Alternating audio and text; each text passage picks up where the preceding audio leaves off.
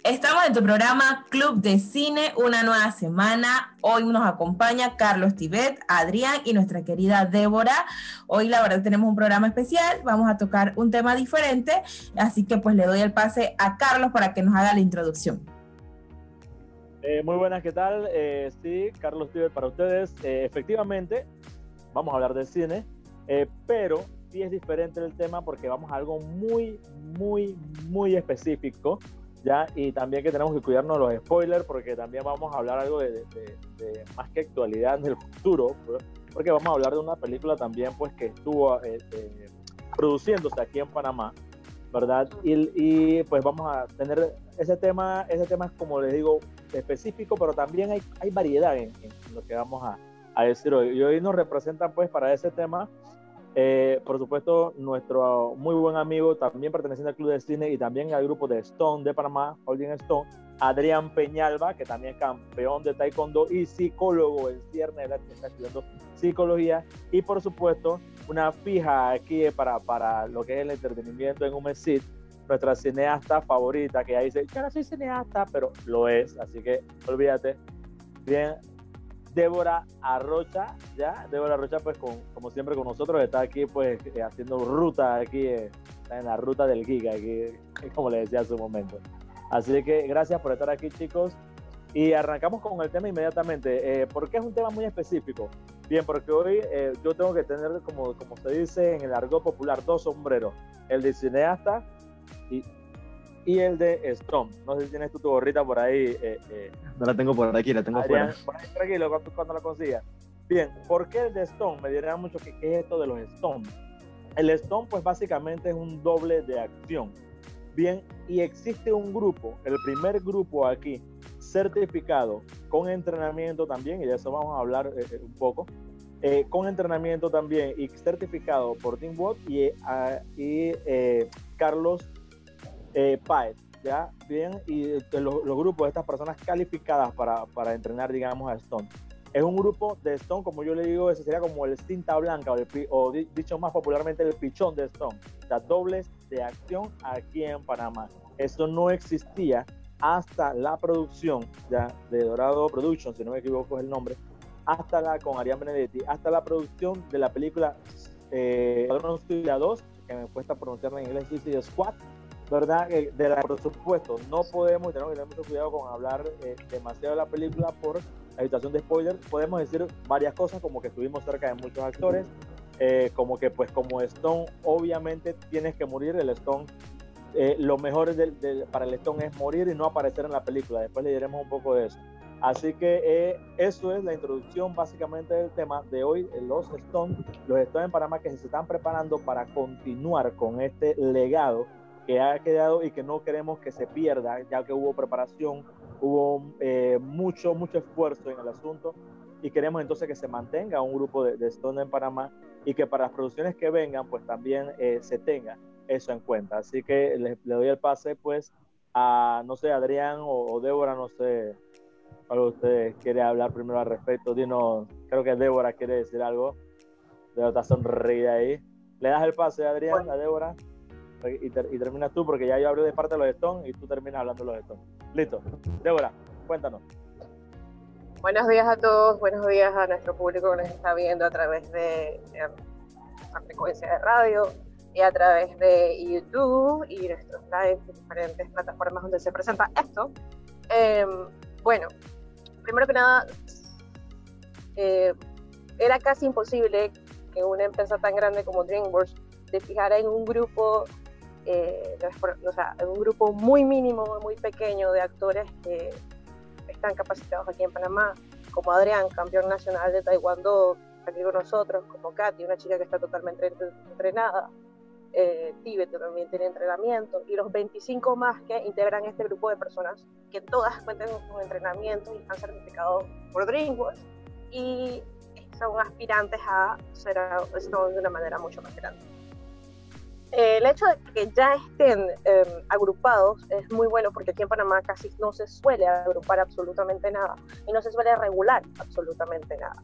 Esto trae muchos problemas ya sea en el cine nacional o cuando a la hora de trabajar con una producción eh, internacional. Las producciones internacionales llegan aquí eh, queriendo invertir, pero nosotros no tenemos estándares ni de calidad, ni de costos, ni de precios, de nada, o sea, no estamos como en blanco. Y los pocos, los pocos, porque es verdad, son pocos, que han logrado entrar en ese círculo de trabajar como Arián Benedetti, que, ha, que haya estado conversando con nosotros, que han logrado trabajar en este tipo de plano internacional, saben muy bien que es muy difícil entrar, pero también lo importante es sostenerse. Y si logramos que esto siga sucediendo, que más, muchos más chicos sigan entrenando, eh, y chicos totalmente capacitados, aquí, aquí no, no estamos hablando de que vino alguien y se inventó que quería caerse de un palo, no, aquí hay alguien entrenado para romper caída del suelo, eh, y también para nosotros, nosotros no estamos acostumbrados en el cine nacional a utilizar un doble de riesgo cuando debería ser lo correcto porque no queremos arriesgar la vida de nuestros actores. Esto pasa un montón de veces porque no contamos con esa, esa conciencia, no contamos con presupuesto porque hay que decir verdad, el presupuesto del cine nacional es limitado. Ahora, yo me siento muy orgullosa de conocer a todos estos chicos y de haber trabajado con estos chicos y de estar trabajando con estos chicos en los diferentes proyectos que se están realizando, ya sea en Redcrea, en, um, en las otras plataformas que existen y con el Club de Cine de Panamá. Más que nada porque sé que hay talento, sé que eh, a pesar de que somos una, sea, que somos un mercado que están haciendo, estamos empezando a crear una industria que ahorita es mínima y las pocas personas que estamos interesadas en que esta industria crezca, como es el Ministerio de Cultura, está muy interesado en que el cine nacional florezca, eh, pues, Procinema, todas estas agrupaciones que estoy mencionando, todos estamos eh, en pro de que estos chicos tengan éxito y de que estas chicas consigan grandes producciones, y no solamente Rápido y Furioso, Suicide Squad, El Sastre de Panamá, La Casa de Papel, todas estas producciones internacionales que se han dado aquí en Panamá, es para que no traigan eh, gente extranjera. O sea, al final, al final si tenemos, no tenemos nada de malo que traiga gente extranjera a entrenarnos también, pero si existe ya un grupo de personas que pueden hacer, qué sé yo, de, de Fuerzas Armadas o pueden hacer, qué sé yo, de villano, pueden hacer de secuestrador, es bonito y a la vez realza un poco lo nacional. Si ya existen grupos aquí que se dedican a ese tipo de cosas. Eh, bien decía un amigo mío hace unos días que igual como la gente que sale en los videos musicales, también hay, hay gente que sale de extras, que mucha gente le dice extras, y algunos dicen, pero es que extra es diferente a Stone. El Stone es aquella persona que el actor o cualquier otra persona agarra y lo muele a golpes y lo golpea, entonces esos necesitan un coaching back, como se dice en buen panameño. Eh, esos necesitan un entrenamiento y es bueno que o sea, se empiece a entrenar gente aquí. Y la verdad es que admiro mucho, por lo menos a Adrián, que ha prestado todo su conocimiento en artes marciales mixtas, que taekwondo, todo lo que él sabe, a los chicos que saben jiu-jitsu también, que son muy buenos en, lo que hacen, y chicas con entrenamiento que tú la ves hermosa y linda, pero ahí donde tú ves acá tiene un arma letal.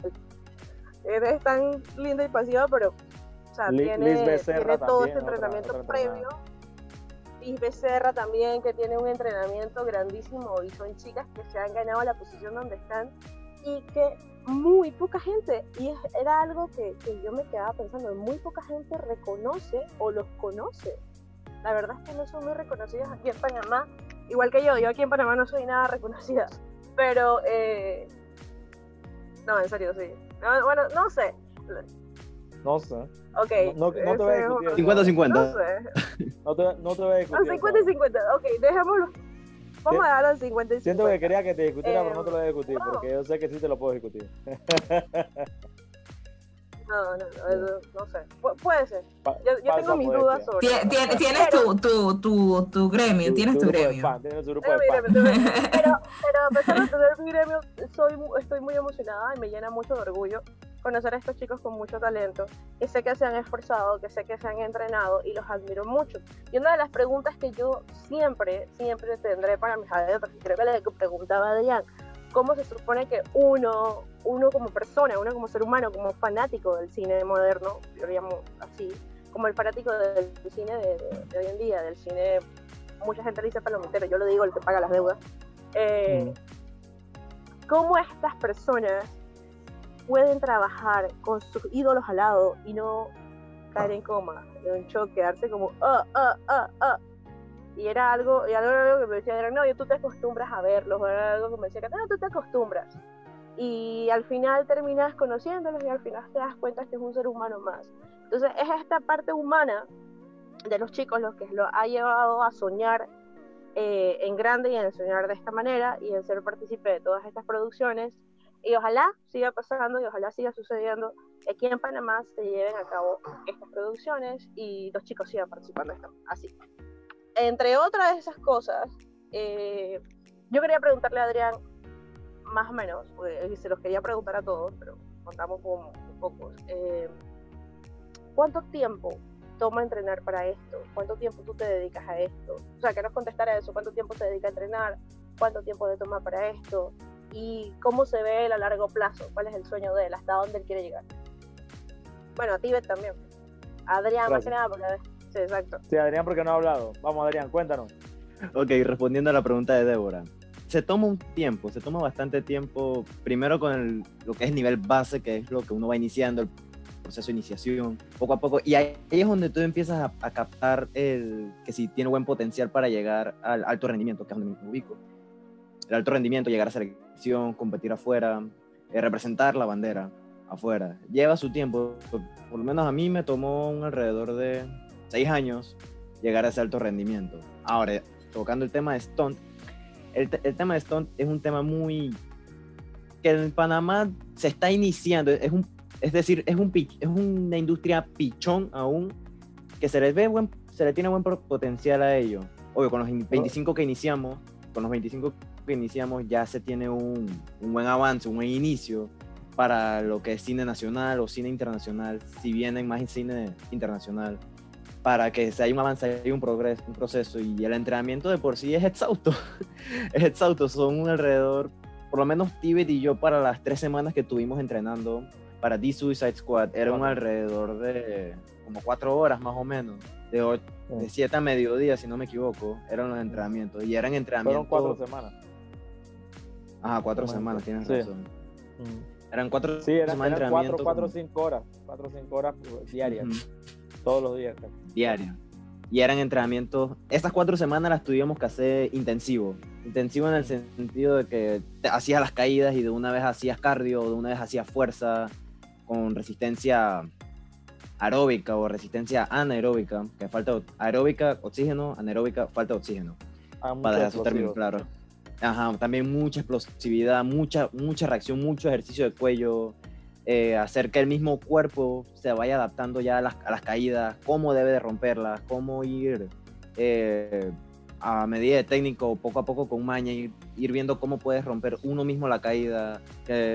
lo tuvimos que hacer en cuatro semanas, pero usualmente estos entrenamientos son de año y medio, dos años inclusive, para llegar a un nivel óptimo y para que el mismo cuerpo llegue a aguantar ya sea las caídas en cemento, en gravilla, inclusive césped, arena, explosiones, caídas, en todos esos aspectos, un alrededor de un año y medio, dos, como nos dijo Carlos y Tim, y y ya nada más es como mantener esa consistencia ahí para que siga, para que siga creciendo, para que siga avanzando esta industria pinchón que es, el, que es la industria de stones o dobles de acción.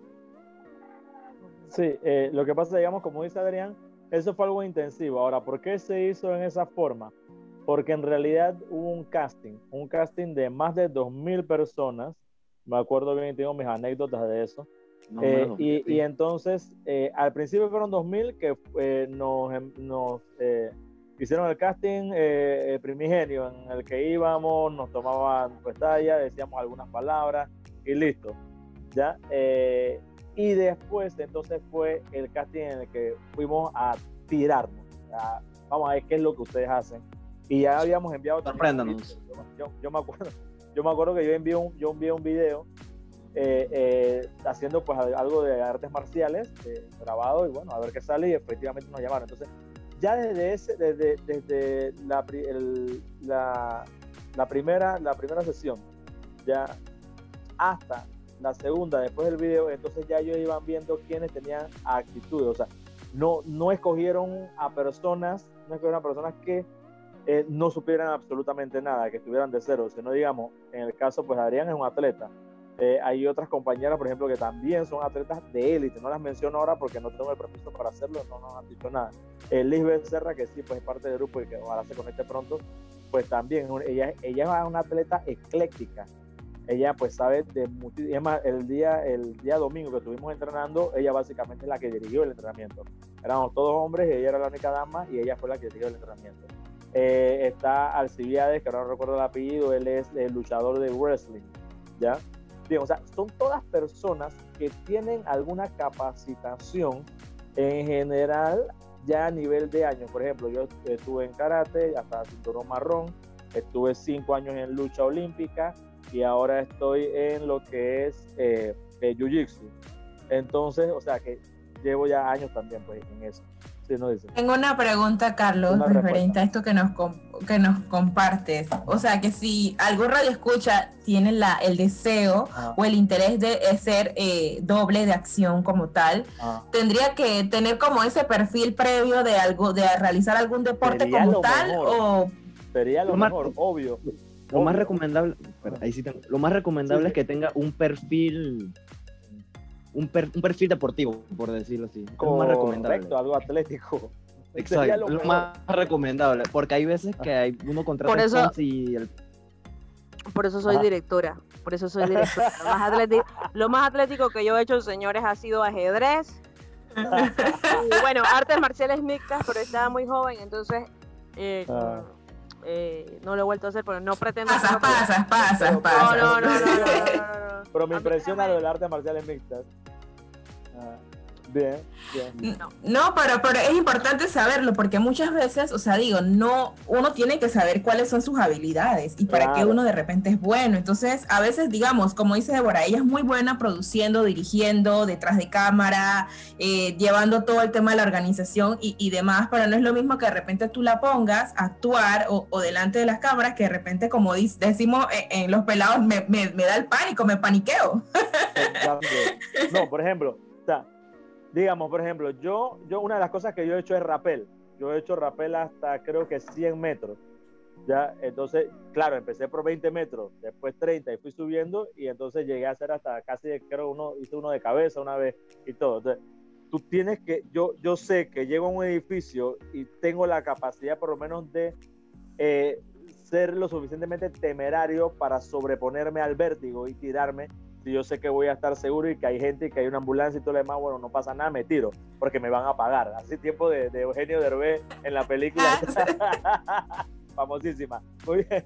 bien. Entonces, sí, sí pasa, porque ya, pero si yo nunca en la vida me he subido a un lugar, ni siquiera asomado, me da miedo subirme una escalera, eh, flaco, no te metas al loco. O sea, si yo nunca, si, por ejemplo, yo sabía el, el, el chest pull, el chest pull, chest pull, correcto. Chest pull, ajá, pecho, ahí de pecho. Chest pull, que es, es, cuando tú te tiras de pecho, es algo que yo hacía desde, desde, niño, desde los 12 años, cuando ya estaba en karate, y lo hacía para bailar y todo. O sea, había estas batallas de baile y yo me tiraba de chest pull, para, para, ese era de pronto el, el, paso más impresionante que hacía yo. De ahí no me busqué más nada, no sé hacer ni salto mortal ni nada de eso.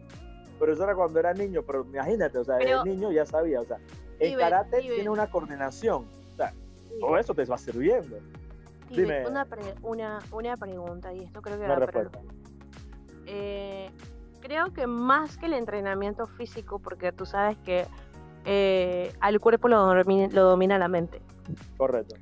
Entonces, ¿cuál es el entrenamiento? O sea, hay un entrenamiento físico que tú haces, pero también debe existir un entrenamiento emocional.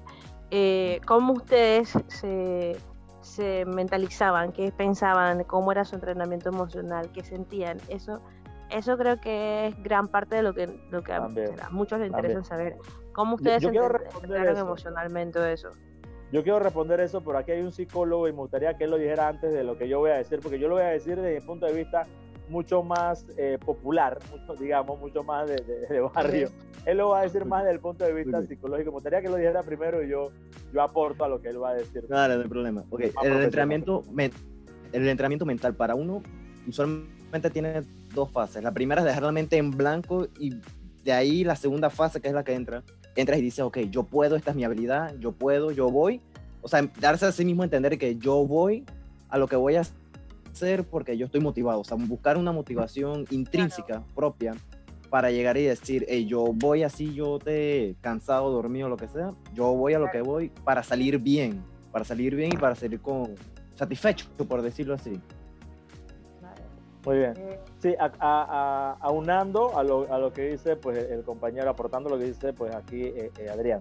¿Qué te digo? Mira, para mí, a mi concepto, en lo que yo he aprendido en varios años, sí, por supuesto, la mente llega un momento eh, como cuando se dice que tú estás en una pelea y lo único que te, lo único que te sostiene en la pelea a veces es la moral.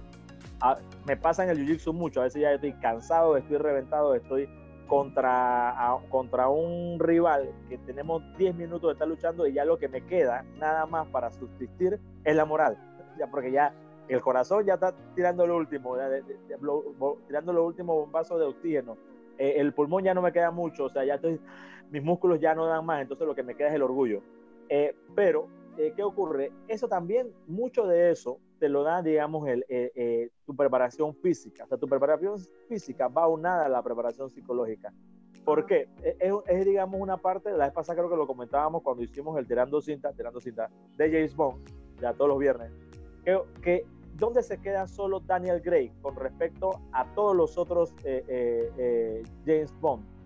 Se queda solo en la preparación física. El tipo tiene un físico impresionante.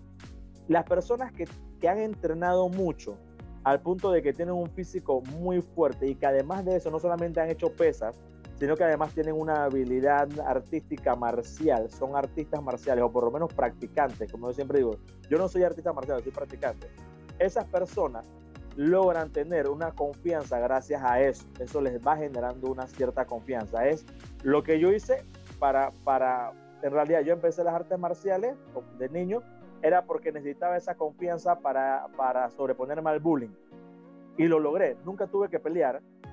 Se acercaba a mí para, para molestarme, yo, hey, ¿sabes qué? Deja eso así, respeta. Pero yo obtuve esa confianza de saber de que yo podía sobreponerme a eso. Eso me ayudó. Entonces, de ahí, ahí así mismo, desde el niño, pues hasta la persona más grande, la preparación física te va dando esa situación psicológica. Es algo como, como, como el yin y el yang, por decirlo de una manera muy mística. O sea, va acoplado uno con otro. Bueno, em, eso entre tantas cosas, eh, también cabe destacar que ustedes eh, ya estaban envueltos en este mundo del, cine, envueltos en este mundo de los castings, y me podrían contar más que nada eh, el en el tema de porque todo el mundo, mira, hay que ser sinceros, todo el mundo tiene el estigma de que las producciones nacionales vienen y se de las producciones internacionales vienen y se aprovechan del nacional, que no sé qué, que por aquí.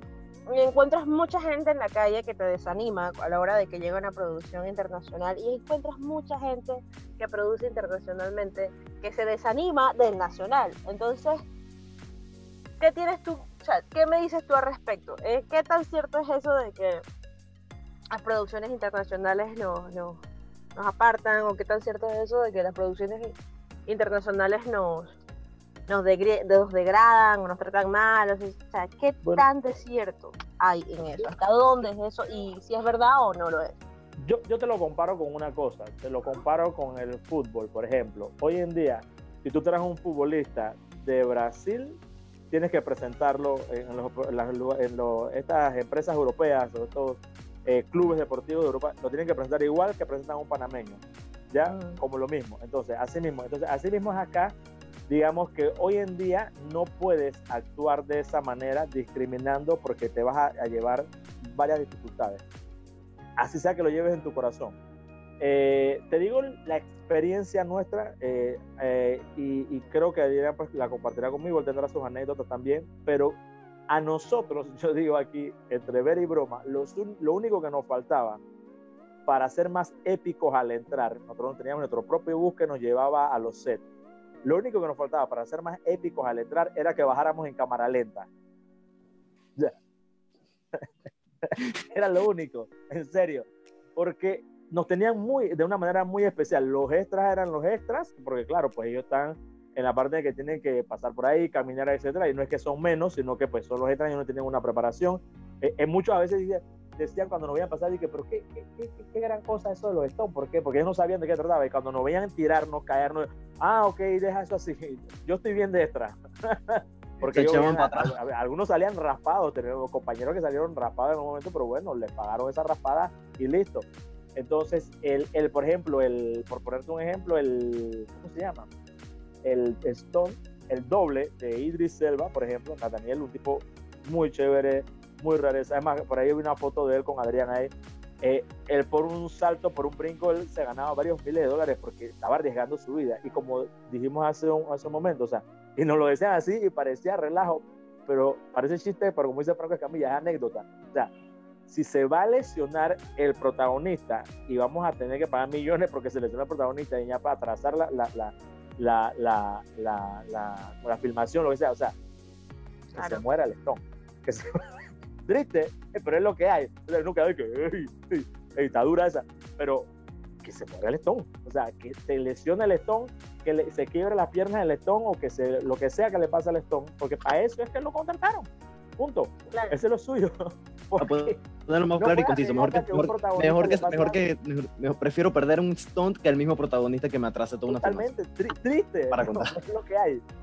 Sí, uno se ríe. nosotros nos quedamos y, que- nos pero, pero man, fuerte. Es fuerte, es fuerte y, y la verdad es que es arriesgado eh, el trabajo, pero Total. bueno, al final yo pienso que es parte de la adrenalina, pues y que también te tiene que gustar, te tiene que gustar totalmente. Por ahí está entrando KS que no sé, KS, ¿Qué- qué- suena, suena KS, a está, está- ver. está- está incógnito, está incógnito eh, el nuevo invitado, Eh, la nueva invitada.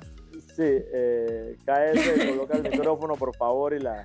Preséntese, preséntese por favor. ¿Qué tal, Carlos? ¿Qué tal, Carlos? Te habla Ciudades. Hey, ¿qué tal? Así, ¿Cómo estás? Pon tu Sí, así cámara, es. brother. Te dije que me iba a conectar, pero quédate en la calle, por eso no pongo la cámara, porque estoy en la calle ahora Ah, mismo, pero Tranquilo, cumpliendo con mi promesa de conectarme. Ah, No, claro que sí, eh, de estar con nosotros. Carlos, dime algo sobre el tema este de los Stones. ¿Realmente eh, la parte de, pues, de aprenderse el personaje como tal también influye o solamente ustedes llegaban en esta escena, haz esto y chao, chao pescado o era algo que pues tenían que ir de la mano con... Ahí, bueno, parece, pareciera que hay menos actuación que, que obviamente lo que tiene que hacer pues el actor, eh, ya sea secundario, principal o extra demás. Pero sí hay, sí hay mucho de actuación. ¿En qué sentido? Por ejemplo, te si, y eso, si te meten un tiro, tienes que hacer el gesto de que y tienes que hacerlo muy expresivo. Eh, si, digamos, caes, tienes que, si te dan un golpe en un hombro, eh, yo, digamos, en una, pues tenía que morir, eh, tuve que estar muriendo todo el día, muriendo, yo perdí la cuenta después de la 40, ya, y caer, caer, caer. Era caer más de todo el 30 día veces. Y, y el caco, pues, así. Y, y por ahí yo tengo un recuerdito, yo creo que yo lo señalé de pasada, este es, un- este es mi recuerdito, No, Tiene no, mi- no. este es mi afiche, este es mi afiche de, de, de, de- de que me colocaban en el brazo cuando entrenábamos, pero esto que está aquí es una esponja, cuando al otro día te estaba filmando ya después la que ella estaba filmando era que yo estaba en el piso, entonces me lo ponían aquí, eh, me lo tenía que poner de almohadita para que no me quedara la calle, la cara en la calle y dejar el pellejo ahí en el asfalto, y esto Era literalmente una amo porque me salvó la vida este pedacito de esponja, porque si no, la cara me hubiera quedado quemada, o sea. Entonces, e- esas son cosas de producción que, que te ayudan, ¿no? Pero sí, las protecciones y todo lo demás, o sea, nos cuidaban mucho. Vengo yo con mi pregunta técnica que, que me gusta hacerla mucho y perdona que te interrumpa. ¿Realmente No, no, no. aquí en Panamá se estudia para eso? ¿O es algo que pues ha sido empírico para hacer Stone como tal? No, para Stone, el único, el único, por eso es que es importante este grupo. Lastimosamente no se pudieron conectar los demás chicos, Alcibiades que nos estará viendo, pues Libre Serra que tuvo un entrenamiento, estuvo también, Sí, los claro. mencionó, que está en Estados Unidos y que se iba a conectar desde Estados Unidos, hubiera tenido a Willy Internacional. Eh, Simón Igux, que está en Chile, en Chile se iba a conectar el chileno, pero no pudo tampoco. Ya, y él, eh, pero todos ellos yo les dije, vamos a seguir manteniendo el entrenamiento, no importa que estén afuera, y también de pronto a seguir haciendo otro tipo de cosas que después ya le daremos la primicia de los contenidos. Lo importante ahora es que eh, ese entrenamiento es el único, hasta donde sabemos, yo, que me diga alguien más, el único entrenamiento certificado además certificado, que el certificado lo iba a tener aquí para mostrarlo, pero ah, whatever, ya ustedes saben que existe. Ya, eh, el certificado que dice yo creo que estas son las únicas 25 gorras aquí en Panamá que dicen Stone. Hay, hay otras 200 a nivel internacional, que es otra cosa que la gente no entiende. Unos amigos me dicen de que, ah, tú tu sueño de ir a Hollywood. Yo, no, yo no tengo un sueño de ir a Hollywood. Mi sueño es hacer películas aquí. Pero, adivina. El sueño, el sueño es que Hollywood, Hollywood produzca vino acá. a mí. Hollywood es que Hollywood venga a ti. Eso es lo Hollywood vino, la, montaña vino a Mahoma porque Hollywood vino aquí a Panamá. Cuando una producción como esa viene acá a Panamá a, a- a hacer todo lo que ellos hicieron, a realizar una película, Hollywood vino aquí a Panamá y eso es lo que mucha gente no comprende. ¿ya? Y tenemos que hacer que Hollywood siga viniendo y todas las otras productoras de todos los otros, de otros, otros países del mundo que hacen cine de todo tipo, tanto experimental y, y, y- y- ¿cómo se llama? Artístico como cine palomitero, como dice Débora, el, el cine que paga las cuentas. ¿ya? Entonces, porque de verdad que ha pagado las cuentas, especialmente antes de pandemia. Dios santo, gracias a Dios por eso. Pero, pero sí, y, es bonito en realidad. Mira, fue una experiencia muy bonita. Los compañeros no- nos apoyamos mucho. Eh, como digo, anécdotas tengo mil, seguramente Adrián también tiene varias. Eh, había, había uno que se hizo muy amigo mío, eh, Juan Pras, que él es, él es actor, que no tengo problema con que lo mencione. Él eh, trabajó en, en, eh, escribiendo El General, como Kimura y muchas otras películas, el tipo es un actorazo. O sea, no solamente es de doble, sino es actorazo.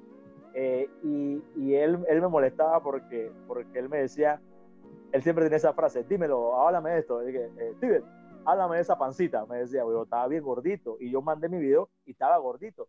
Y, y más gordito que ahora. Ahora habré bajado bastantes tallas. He bajado por lo menos dos tallas. Y él, y él me dice, háblame de esa pancita, tío. Yo dije, hey, brother, yo ya estaba pachochito. Querían un tipo de mi tamaño, de mi color, con mi cabello, ¿ya? Y de ñapa me dijeron, ¿sabes qué? Te necesitamos más pachonchito. Bueno, brother, yo, yo- yo tuve que hacer mi, mi- mi dieta a base de chicharrón y helado. Porque Esto es lo que relajo, hay. era, era relajo. Pero en realidad hay otra cosa que la gente no sabe. Se necesita gente de todo tipo, especialmente para estas cosas, porque no todos los dobles, ni todos los extras, ni todos pueden ser eh, altos, rubios y de ojos azules. Tiene que haber de todo tipo de personas. Y, nosotros éramos muy variados. La pregunta Mira, eh, eh, ahora que tú dices eso, em, hace unos días, eh, una anécdota que tengo es que un director nacional le dice a una, a una chica que estudió actuación en Los Ángeles, que ha sido reconocida internacionalmente, es que tú estás muy gorda para ese papel. Y yo me quedé, ¿what?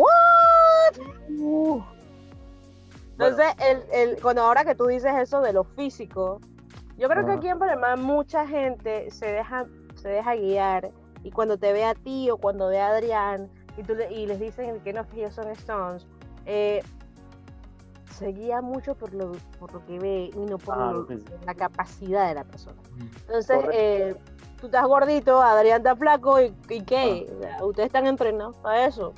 No tienen que ser eh, los más musculosos, no tienen que ser los más entrenados, no tienen, no tienen que ser de que los que van al gym todos los días, pero sí tienes un entrenamiento. Lo haces con juicio, no lo haces de manera estética, lo haces para fortalecer tu cuerpo, para resistir Mucho. todas estas cosas, para resistir todos estos golpes. Y, y créanme, eh, ustedes hacen algo que la mayoría no hace, abren un mercado para que muchas otras personas entren y para que se rompan estos estereotipos de que tienes que ser perfecto para salir en pantalla, que es algo que yo te digo la verdad, no, no, no, no, no funca. No, Adiós, No ese-. Que chao.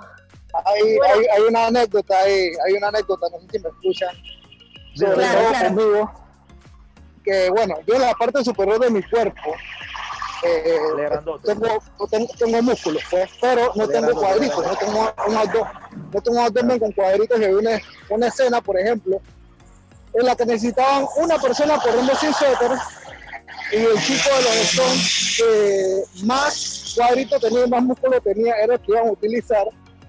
Y el director de Stone dice, no, no, no, no, esta persona no nos va a servir porque tiene demasiado, está demasiado riqueado, pues, está demasiado cortado. Tú ven acá, tú que tienes, no tienes cuadritos, quítate el suéter y ve tú. Entonces se ve que ellos necesitan eh, diversidad, pues bastantes tipos Claro. de cuerpo, de personas, Claro. tonalidades de pies, para variar y mucho más, tomando cuenta que ellos, ellos nos multiplicaron con VFX, así que imagínate eso. No, no es cierto lo que dices y, y también me quedo con, ese, eh, con esas palabras ya para irme para el cambio comercial, con el tema de que hay que tener variedad y diversidad hasta inclusive eso y también con lo que decía Débora que a veces nos acomplejamos o sentimos que no entramos en el estereotipo que de repente la televisión nos vende, porque es eso, ¿no? Uno está acostumbrado pues a ver algo en la tele y de repente tú decir, pues que yo no, yo no tengo el perfil para estar eh, de repente en una producción como tal. Entonces, a romper eso y también pues a, a saber de que a veces lo que tú tienes es justamente lo que ellos están buscando, como lo con, con- compartía Alcibiades. Entonces, de verdad, vámonos a nuestra primera pausa Dale. y volvemos con más de Club de Cine en la radio. En Panamá somos pioneros en educación virtual. Hoy no hay distancias que limiten que puedas estudiar con un Mesit virtual. Estamos de vuelta en Club de Cine en la radio. Hoy me acompaña Adrián y nuestro querido Carlos. Ellos son Stone de películas, son dos dobles para los que no, para los que dominamos el español. La verdad, pues, eh, estoy contenta con ellos el día de hoy en el programa, pues nos han contado la perspectiva desde diferentes aristas. La verdad, eh, lo- ambos eh, se dedican a esto, pero pues tienen profesiones di- diversas o se dedican a cosas eh, muy, muy distintas, pero pues tienen esto en común, que es el tema pues de, de realizar dobles como tal. Chicos, algo que pues me llama también la atención con este tema, eh, y es que, no sé si es cierto, hay muchas veces que el protagonista principal de una escena no está dispuesto a realizar los cambios que se le piden para, para X o Y producción. Entonces, po- por eso es que entra en sí también el término, no solamente porque estos chicos se dedican a dobles de, de películas de acción, ¿cierto?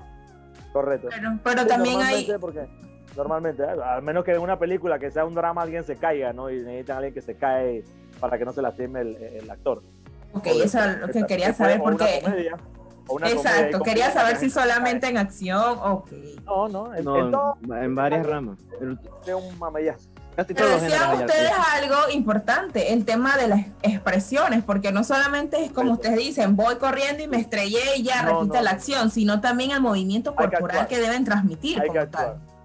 Corporal, Por- por- facial, eso entra bastante. Por- por- a mí me pasó, digamos, en varias, y, y los chicos me molestan con el Tibet, Tibet, Tibet, porque eh, el, el- el que, el que era nuestro coordinador me llamaba mucho porque él, él hablaba en inglés y lo hablaba muy rápido. y Yo entiendo el inglés, pues dice pero que cambia poquito.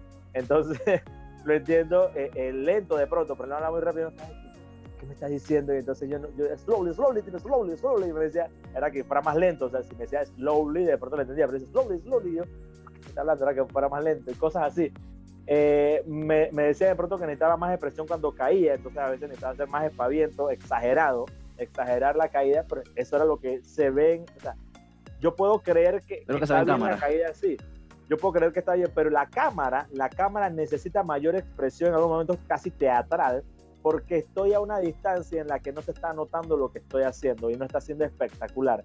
Y, y eso se llama ser cinematográfico. Entonces, eh, para ser cinematográfico tiene que, tiene que haber una espectacularidad. Hay momentos en que nos pedían, digamos, estábamos en Santana, por ejemplo, y nos decían que, eh, no puedo decirlo la, escena, pero te puedo explicar que, que teníamos que asustarnos, ¿no? Entonces, yo, por mi, por mi experiencia de gueto, mi cara de asustado es esta. De pronto, hasta ahí, hasta ahí. Pero no, yo quería que hiciéramos como que...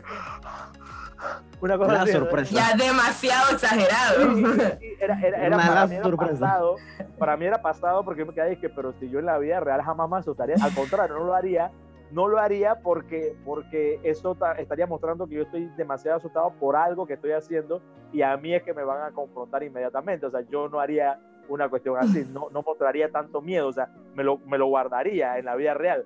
Pero si el jefe dice, asústate, asústate. asústate, asústate. Es lo que dice Nada el que nada te detenga ahí. Y, y- no, exactamente. exactamente. Y, y- hablando del jefe, James Goma hay que decirlo, un tipazo. O sea, por lo menos si no lo es, es un gran actor porque él terminaba la cosa y cuando le quedan decía gracias, gracias, muy bueno. eh, sí, aprendió hasta el español eh, eh, más simple, por lo menos para decir eso. Eh, en un momento dijo, eh, lo dije en inglés, pero no me acuerdo, me aprendí la expresión porque él dijo como que era la mejor escena que había hecho en su vida, una cosa así, era, Uh, fue para la última. había visto una cosa así cuando hubo un, un- cuando hubo una escena de efectos especiales que no te puedo decir porque obvio la- haría un spoiler, pero, pero sí fue espectacular, no la vi yo porque estaba del lado muerto. Tú tirado y el resto por ahí corriendo. Exacto. Pero la escena fue espectacular y él, y él decía, muy, o sea, él mostraba mucha emotividad, mostraba mucha, mucha, eh, mucho agradecimiento eh, eh, eh, y eso, ¿no? De Idris Elba te puedo decir como anécdota que el primer día lo vi muy cansado, pobrecito. Y, y sentí que él no tenía esas cosas de, de- de aire acondicionado en el traje. Eh, y él estaba muy cansado. El, el martes, eh, era un martes, me acuerdo bien, él estaba, hasta que cuando se sentaba hacía como... Estaba el- agobiado. el calor de en, Panamá... En los mismos cortes, en los mismos cortes él, él ni- se agachaba, se sentaba atrás. el calor de Panamá en. Colón y con un traje tan cerrado como que tiene pesado. O sea, Revienta. este, no, no, que va. Eh, eh, pero ya el otro día como que se acostumbró, no sé qué le ayudaron, pero Ya Pero se estaba chévere, adaptando como tal. Aquí está entrando Will con nosotros también al programa de ¡Hey, Club de Will! Cine. Will Esperemos ahí de que. Estados Unidos. Qué bueno, qué bueno. pues, Directo de. Estados Unidos. ¿Cuál es el apellido de Will? A mí se me olvida. Tiene unos Will, Will, sí, solo que Sí. está teniendo como problemitas le- con el tema del audio. Estamos ahí. Es que él está en Estados Unidos. Nosotros le decíamos Will Smith. Porque... y no sé si se llama Will Smith. Puede ser, es mi un apellido que muy bien puede tener. Bueno, sí, eso es Se verdad. puede llamar William, ¿por qué no? Veo que, veo que el Club de Cine tiene mucha variedad de, de- de integrantes. La verdad es que se ha diversificado de cuando empezaron a lo que son hoy en día. Ah, eso, eso que estás diciendo es muy importante y creo que, mira, Adrián, yo lo, yo, yo lo, lo, lo choteé, como decimos en buen panameño, desde el principio y él vino. Otros amigos también, esto, actividades también han estado por ahí siempre. Pero, ¿qué ocurre? Eh, para nosotros en Club de Cine, a todo, todo el que le gusta el cine, todo el que ama el cine, como tú, Lynn, son parte del Club de Cine. Para nosotros, todo el que ama el cine es parte del Club de Cine de corazón. Ya si participan, si están, bueno, ya es otra cosa, son miembros del Club de Cine, ya son no solo clubceros, sino son miembros del Club de Cine porque participan. Will, si estás por ahí, ¡ey! Tienen que estar con su mascarilla porque está en un centro comercial. ¿Cómo estamos, Will? ¿Nos escuchas? ¿Te escuchamos? No, te escuchamos. Parece que tiene problemas con el audio. Sí. Pero lo Bueno, estamos pues. viendo. Will está Por en ahí- un mall, eh, no sé en qué ciudad exactamente, Está en Miami. internacional, Will. Qué bueno, qué bueno también que les den seguimiento pues a todo esto de- del club de cine. Y también de verdad que pues yo siento que el tema de, la- de producir cine, de, que, de hacer cine como tal, tiene muchas ramas que, que, que de verdad es un mundo, como lo decimos, y de verdad que a veces suena sonar algo tonto, pero, pero esto que hacen ustedes, que, que hago yo también, qué sé yo, de estudiarse el personaje, de ver las películas, de, de conocer diferentes, eh, no solamente un solo género, sino abrirse a diferentes géneros, te permite tener esas cualidades o, ser abierto para que haga, para realizar este tipo de tareas como las que hacen ustedes, porque si yo solamente me mantu- mantuviera en un género de terror, qué sé yo, el día de mañana que yo quiera participar en, una comedia o en algo de amor, créanme que voy a tener el chip cerrado solamente a, algo terrorífico. Entonces. Tener estas di- diferentes perspectivas y, y también saber que hay una variedad enorme en este mundo. Así es. La verdad. es. Correcto y, y eso es lo que buscamos, o sea, porque el mundo es diverso eh, en muchos sentidos. ya, eh, la gente también lo es, eh, uno mismo lo es, a veces no entendemos eso, o sea, yo eso lo entendí, gracias a Dios, creo que bastante joven y aún así me ha servido, pero, pero ha sido algo conflictivo para mí saber que yo no tengo una personalidad, sino que tengo varias y que tengo que convivir con eso. Yo le digo a mucha gente, a veces yo envidio a la gente que es integral, esa gente que es una sola en todos lados, que no lo creo mucho, porque yo siento que uno administra sus personalidades. Ya a veces se molesta, a veces es más tranquilo y demás. Entonces, pero eso mismo te lleva a, saber que tú eres varios personajes también, que tú tienes varias máscaras. Yo le decía a una amiga, yo, yo, yo no soy la misma persona siempre. Yo tengo una, una, una personalidad, una máscara de, de ser eh, muy chévere, muy buen tipo, muy rareza. Me relaciono con todo el mundo, soy amigo de todo el mundo. ¡Wey, qué pretty! pero también tengo una personalidad que es conflictiva, también tengo una personalidad que es eh, agresiva en ocasiones si, si, se necesita hacerlo, o, o, o, que, o que enfrenta las situaciones si se necesita. Maleante interno. también, totalmente, totalmente. Es más, es, sí, y eso te sirve. Es más, eh, casualmente, ahora que tú dices eso de, de maleante y de más interno, yo digamos, eh, ustedes saben, yo escribo, ¿no? Y para escribir tienes que conocer gente. Eh, y yo he, yo he dado mi, mi, mi, no, no mi pasada, mi, investigación que yo he hecho, la he hecho en los mismos guetos. Yo vivo en Torrijos Carter, que ya es un, puede considerarse un gueto. Ya, pero hay de todo tipo de gente y la gente a veces cree que clasificar a las personas de una manera, pues es muy fácil, pero yo he hecho mi investigación con la gente y aquí hay, hay productos de, de, de actores naturales fuertísimos.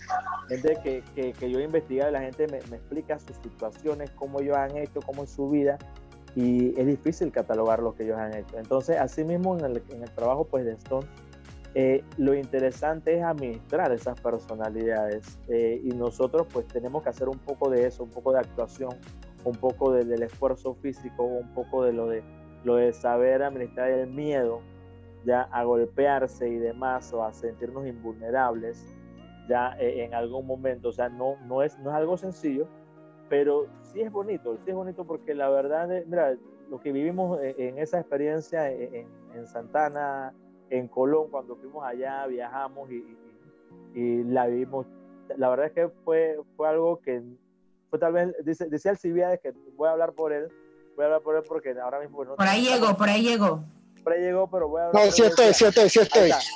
Alcibiades decía, es el mejor trabajo que he hecho en mi vida.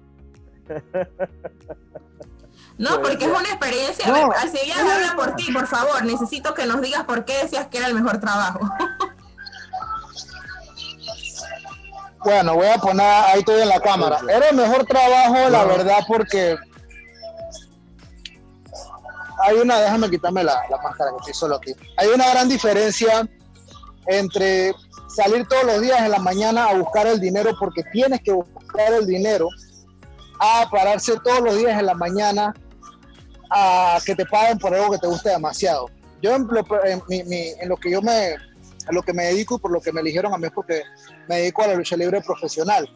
Entonces, todos los días pararte, a las, a veces a las 4 nos paramos, 4 o 5 de la mañana, vaya a catering, para prepararse, maquillaje, salir y está como 12 horas agarrando sol, aire acondicionado sol, aire acondicionado estrellándose contra el pavimento, todo eso era un trabajo duro.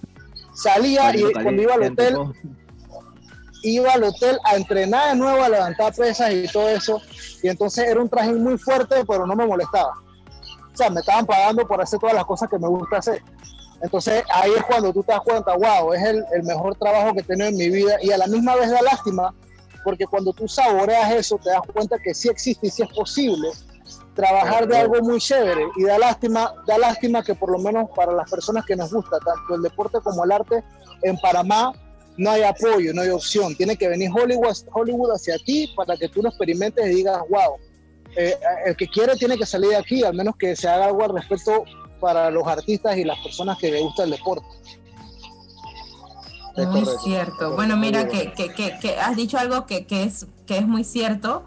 Ah, pues y también, exactamente, y también el tema este que comentabas referente a hacer lo que uno le gusta. Yo creo que, que, cuando uno encuentra como, como ese trabajo soñado, uno está como pez en el agua y lo hace de verdad. Y también, muchachos, o sea, manejar el miedo con lo que decía Adrián, o sea, manejar la parte eh, mental y, y, y todo, tú sabes, hacerme toda la programación, porque por más valiente que yo diga que sea, y por más adrenalina que uno dice que, ah, es que uno está caliente en el momento, llega un momento que uno dice, en serio yo me tengo que tirar de ahí o en serio yo me tengo que estrellar con esto. Entonces, eh, son situaciones, ¿no? Que, que, por más que de repente uno se considere fuerte o que uno tenga la capacidad, también a veces la mente nos traiciona en los peores momentos. Entonces, yo creo que eso también es fundamental, pues en esta gran labor que ustedes hacen como, eh, como dobles de, de acción como tal. Así que de verdad, otra cosa que quiero rescatar pues de lo que conversábamos el día de hoy era la parte pues como escritora, ya voy a hablar eh, sobre lo que comentabas Tibet. de eh, la importancia de, ya está entrando de nuevo Will Jaramil. Jaramil es el apellido. Bien, ustedes estaban diciendo otro. Ah, ahí. Eh, está por ahí, está por ahí entrando. Eh, lo importante de, de pertenecer al sector, de pertenecer, a, por decirlo de una manera, al barrio. eh, hay muchas producciones que por, por mejor actor que tú seas, nada como el actor innato, nada como rescatar de repente al chico del barrio, tú vas a hacer esto, este, este es tu papel y lo vas a hacer y vas a fluir tal cual como tú eres, porque a veces por más que tú te quieras meter en un papel, no te sale, no te sale. Lo mismo pasa de repente eh, eh, y, y que de- y, y no es a manera, ay, creo que se me, sí, me estoy por aquí, sí, sí, estoy aquí, sí. Estás ahí, pero se te. La cámara, ajá. se te- Se apagó la cámara. Bueno, la pero cámara. ah, por aquí estoy. Estoy Sí. aquí tratando de, de activarla nuevamente. Lo que les comentaba, chicos, eh, eh, de repente, y no es a manera pues de, de menospreciar a nadie, porque a mí no me gusta ser despectiva con ningún tipo de personaje, pero hubo un caso con la chica mexicana esta, eh, que era que con rasgos indígenas, Yalixa creo que se llamaba, Mm, sí. que hizo la película esta que hacía de, de de ama Roma. de, de Roma, correcto. Ajá. Y, y yo vi la película, a pesar de que al final de la película yo en lo personal no entendí muy bien ese final, eso, eso es para otro programa, eh, Sí. o para un tirando cinta, no entendí bien el final, pero bueno. Ojalá, ojalá vaya a un tirando cinta con nosotros. Pero la chica estaba metida en su papel y lo hacía La muy bien. Y, y, y, y era tal cual, entonces a veces digo, no es que tú no la puedas ver en otro, en otro papel, pero realmente la chica se desenvolvió muy bien. Entonces, lo importante que es saber o saber reconocer el perfil de cada, de cada protagonista en, en una producción también es importante. Entonces, eso me parece fundamental en todos los aspectos. Ay, Total. ojalá Will pueda conectarse con nosotros, él está intentándolo. Sí, está intentándolo, fuertemente. Te lo vea. Te lo vea. Sí, te sí, lo sí, vea. sí, la señal y como está en la calle puede que, que claro, sea inestable. No, y es que él, él está en la calle y además está, a- estamos hablando de que él está a muchos kilómetros de aquí, está en Estados Unidos, no sé en qué ciudad, así que eh, eh, no sabría, no sabría decirte exactamente qué ciudad está, pero por lo menos está en, como en el mismo eh, meridiano. Pero sí, es. la verdad es que eh, eh, es increíble, es increíble. Mira, la verdad que todas estas experiencias son, son bonitas, la verdad que me, me- me- me gustó mucho lo que, que dijo eh, hace un momento. Hacia, Will, ¿nos escucha Will? Te lo vea. Will, Will, uno, dos, uno, dos. Y no, y es bueno conocer, conocer que también pues en Panamá existen chicos pues que están desarrollando esto, eh, porque créeme, como te decía, puede que yo tenga el interés, pero desconozco que aquí en Panamá también lo están No. haciendo. También decirle a los chicos que se animen, porque a veces tú ves que dicen, vayan a tal producción para acá, para Panamá, van a hacer tal película, y uno automáticamente dice, "Ah, no, me quedo así, yo no domino el inglés, que puede ser una barrera, que, que sí es Sí. importante que el chico se prepare, no es mentira, es importante que tú que aprendas una segunda lengua, pero si no la tienes, el estar también en ese ambiente va a hacer que de repente tú empieces a dominarla, porque tú escuchas, que era lo que de repente pasaba con Tibet, puede ser que no fuera el, el Open English total eh, en la producción, pero él hacía su intento y también cuando el director le hablaba, pues así sea que le pidiera que lo hiciera más lento, más, o sea, pero hacían el intento para pues mantener la comunicación como tal. Pero, pero sí, y, y- y- había un poco de todo, pero la verdad es que, eh, mira, eh, como decía, pues sí, hace un momento, sí, pues es una experiencia que no se cambia por nada. Eh, nosotros, eh, como, como, como Stone, eh, definitivamente quisiéramos estar viviendo de esto. Eh, y quizá- quisiéramos ser un grupo que, pues, que fuera creciendo y viviendo de, de todo lo que estamos, de todo lo que hemos vivido ya, de, de- de este tipo de trabajo y demás. No, no es así no es así, pero vamos a estar entrenando y vamos a estar haciendo, vamos a estar haciendo un, no, solo, no un esfuerzo, porque no es un esfuerzo, no te, no te gustara sería un esfuerzo. Vamos a estar disciplinadamente entrenando y participando como, como el grupo de personas que, que va a llegar a, a lograr ser equipo y que va a llegar, además de lograr ser equipo, a lograr a eh, catapultar nuestras experiencias a cosas mejores. Eh, y eso y eso es lo que estamos lo que estamos buscando y vamos créeme que vamos a sonar digamos mira yo yo le decía a los muchachos siempre cuando yo escuchaba las experiencias de, de Carlos Páez de Steven Boy todos los que los que nos estaban asesorando y a la misma María Benedetti yo caramba esto es una carrera o sea, porque yo no lo veía como tal yo lo veía como algo que yo fui a participar y pues eh, me van a pagar y ya, bien. No, es una carrera, es, es increíble. Empezamos a ver los videos de la gente que hace esto, que trabaja de esto, que vive esto. Y yo le decía, ya, tengo 43 años, a mi edad yo siento que tal vez no, no logre hacer así tan negro en Stone por, por, por, por hacer una comparación. Pero eh, a estos pelados como Adrián Peñalba, que, que son, estamos hablando de veintitantos años, son mucho más jóvenes, eh, Alcibiades que tiene tre- 30, una cosa así, creo que menos. Eh, eh, decirle, chicos, se puede vivir de esto, ustedes pueden hacer carrera, pueden hacer Gracias por decirme que parezco hermano. Sí, sí, sí, sí. Y especializarse, especializarse más adelante por el tema de repente lo que decías, hay que estudiar de repente las las- las facciones que uno hace y todo lo demás. No solamente eso, hay drivers, hay el- los Stones, los Stones creo que los Stones que trabajan en altura tienen un nombre, los Stones que trabajan en, en- o sea, hay muchas especialidades hasta donde, hasta donde recuerdo. Pero los drivers son Los que trabajan con fuego. con fuego, con fuego, con cables. o sea, Fuego, carros, que hacer un moto, poco de todo. helicóptero, avión. ¿Quién, quién habló ahí, Will? No, Adrián. Ah, No, y, y- y también decirles algo, chicos, que al final del día, pues el que ustedes hayan participado en esto les da la experiencia, porque yo siempre he dicho, por más que de repente tú lo estudies, el que de repente no lo ha vivido en carne propia, no, mm, no, no va a tener la, la misma, el mismo feedback que de repente ustedes, pues que ya estuviesen ahí y, vivieron la experiencia y que más adelante inclusive ustedes pueden ser los que editen los cursos aquí en Panamá para hacer esto, ¿por qué no? Porque, o sea, ya han participado de esta experiencia y después espero que, que sigan viniendo muchas más. Y la verdad yo pienso que debemos romper el compás. Aquí no es porque de repente tiene que venir una producción de afuera a enseñarnos o a decirnos cómo se hacen las cosas. Nosotros creo que también tenemos eh, mucho talento para explotarlo y de repente pues saber rescatarlo, pues porque de repente como en el caso de Alcibiades que, que se dedi- dedicaba a otra cosa, pero de repente pues no salió actor, por decirlo de alguna manera, o de la misma forma con Adrián. Entonces Simplemente, chicos, es, es saber de repente que somos buenos y que podemos confiar en nuestros talentos eh, como tal, ¿no? Y pues no solamente desde la parte de que pues yo me quedo bajo, bajo cuerda o yo soy bueno produciendo, yo soy alumbróloga, yo soy de repente una profesión X, pero también pues puedo eh, dedicarme entonces a, a esta parte pues como Stone. Así que de verdad me ha gustado muchísimo saber que aquí en Panamá también tenemos potencial en esto. Carlos Tibet, no sé si de repente quieras decirnos algunas otras noticias que tengas por ahí. Bueno, eh, una de, la- de las últimas cosas, eh, recuerden chicos, eh, yo pues están siempre invitados a, participar del Club de Cine de Panamá como tal y ser más bien esa parte del Club de Cine que son los actores de doble acción. Ellos están muy agradecidos de saber que ustedes existen. ¿Por qué? Porque hacer un reel, o sea, hacer un video con gente corriendo, cayéndose, golpeándose o pegándose o haciendo escenas de lucha, no es algo muy fácil de hacer.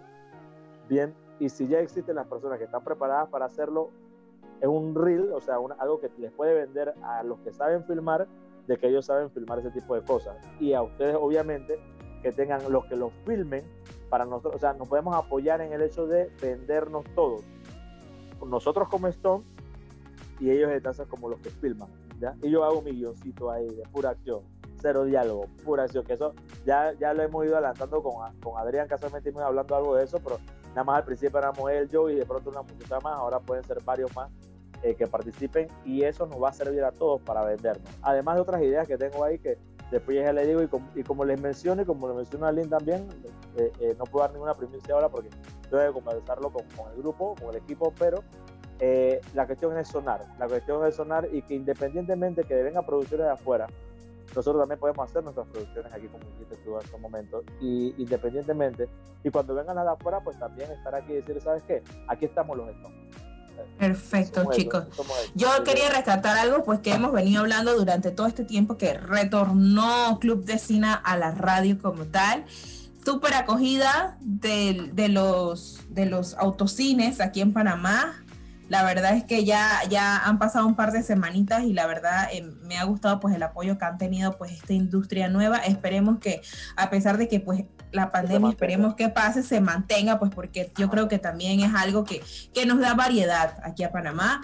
También puedes invitarlos a que también retomemos la- los cines. El cine en Panamá aquí también es muy importante. Yo sé que de repente ahorita mismo todavía estamos con el miedo de las salidas, pero creo que también esta industria está tomando muchas medidas y muchas precauciones. Ahora está la burbuja familiar en el cine para que tú vayas acompañado, no necesariamente tienes que ir solito.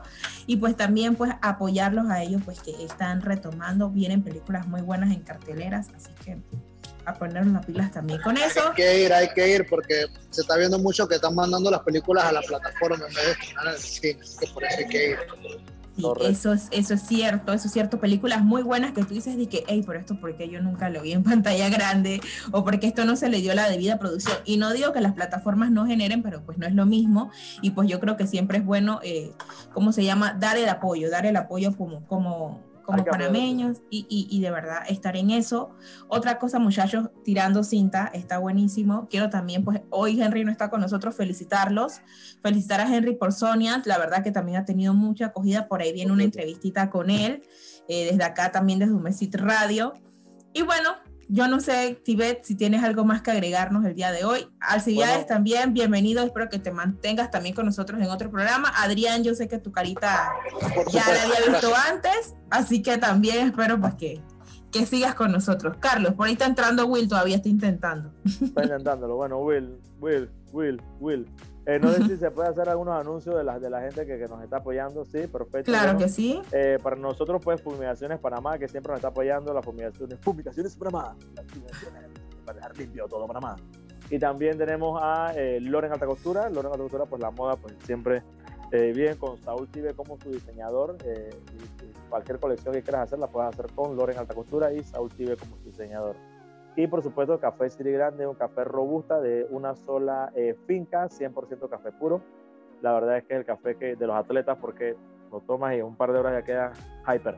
Hyper, activo, hyper, ¿verdad que sí? Bueno. Café, corroborar eso.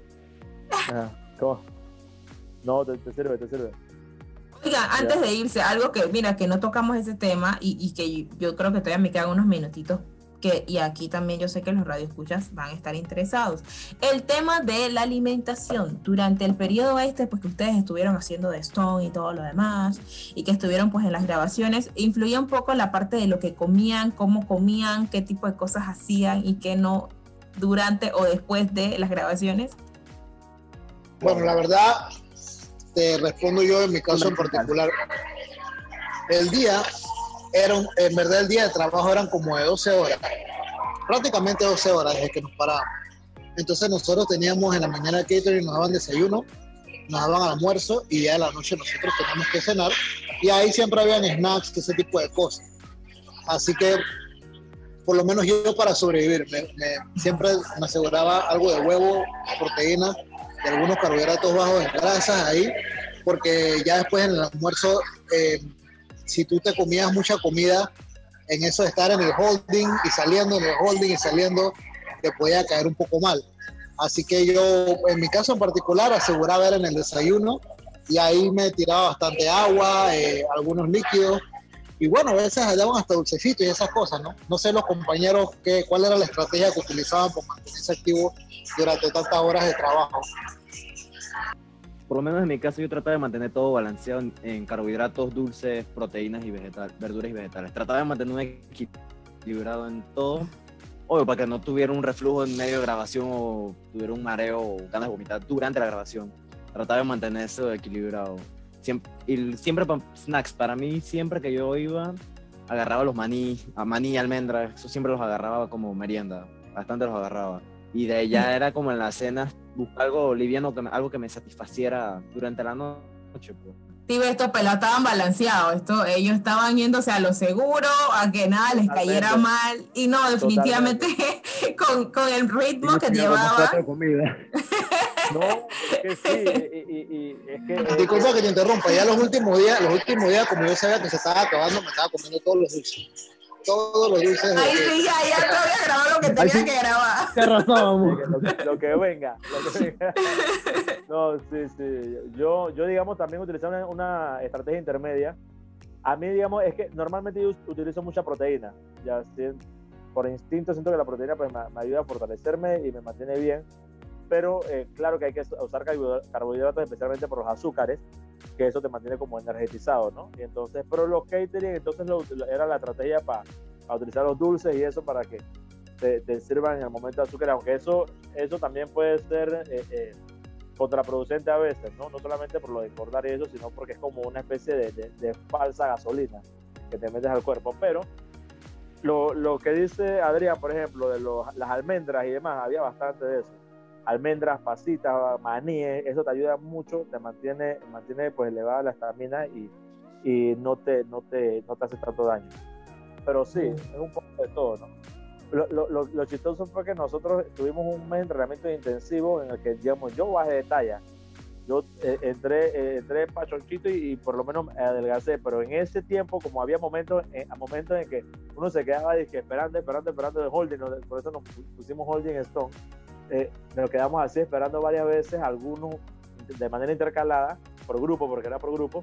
Entonces, eh, a la hora de llamarte ya había pasado mucho tiempo y tú no te habías movido, no habías hecho muchas cosas. Entonces, comiendo, comiendo, porque lo único que había era catering y comer y comer, entonces otra vez regreso la panza.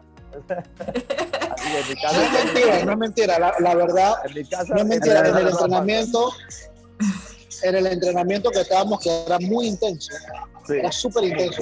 Bajamos de peso brutal Uf, y durante las filmaciones cogíamos demasiado sol y nos desgastábamos, pero los últimos días, como ya no grabábamos mucho, comíamos demasiado. Todo el mundo yo creo que subió de peso horrible los últimos días. todo total. lo que habían bajado, no puedo creerlo. Pero bueno, es parte de la experiencia y yo creo que también a mí se, no. Recuperado. ya se, Ah, se lo no, habían, se lo no merecían. No, eso no entra Adrián. conmigo. Adrián no es humano. Adrián no es humano. No, en mi los caso- seres en mi humanos caso- comunes no, y en mi corrientes, caso era Adrián. distinto. No, en mi caso fue distinto porque para la primera semana de entrenamiento yo estaba haciendo peso para el selectivo nacional. Es más, yo Ah, mantuve mi peso y bajé como 500 gramos más después de entrenamiento. 500 Oiga, gramos, después de esa semana subí como 2 kilos y lo mantuve. 500 mantuve gramos yo lo bajo sudando. Al siguiente, bueno, al siguiente, El siguiente me veían a mí que si en licra, que si en licra manga larga, otro suéter, Sí, y yo entrenaba así. Ya la siguiente semana, un li- licra en pantalón, ya. para con- ya se había perdido todo, todo el enfoque. No mentira, muchachos, de verdad que qué bueno saber y pues conocer su experiencia. Espero pues que esto les sirva mucho a nuestros radioescuchas, a toda la comunidad pues universitaria que también está en este mundo de la producción y al que no también, pues porque al final ya vemos pues que diversas aristas son bienvenidos para participar eh, en este mundo también pues de los Stone como tal. Espero también tenerlos la próxima semana y pues a todos desearles una linda semana. Esto fue todo hoy en Club de Cine en la Radio y mañana tirando cinta. Tirando cinta. Nos vemos Gracias, chicos. gracias. Hasta luego.